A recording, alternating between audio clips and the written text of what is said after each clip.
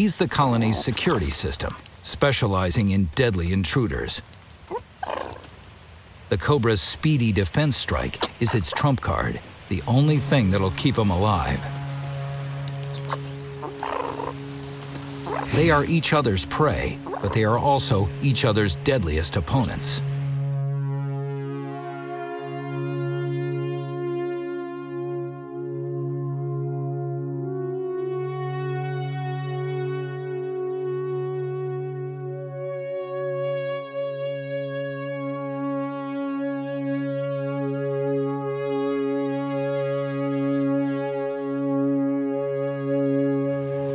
The mongoose circles, looking for a weakness in the cobra's defense.